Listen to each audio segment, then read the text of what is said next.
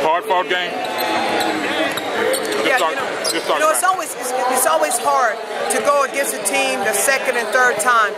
Um, they kind of have your number. They've, they've seen all your plays, um, and so they've made adjustments. And so, really, right now in the second half of the SWAC, we really have to be about grit, about who wants it more, about going the distance.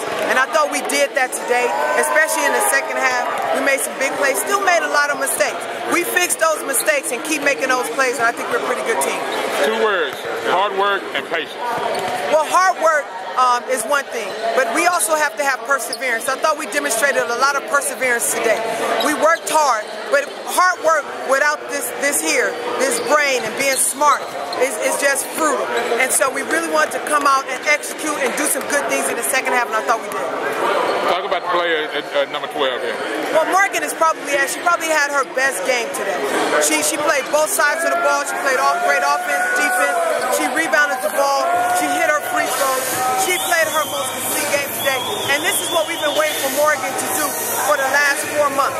So this is the perfect time for her to start um, growing, and, and we're we're looking forward to her using this as a stepping stone for the Last thing,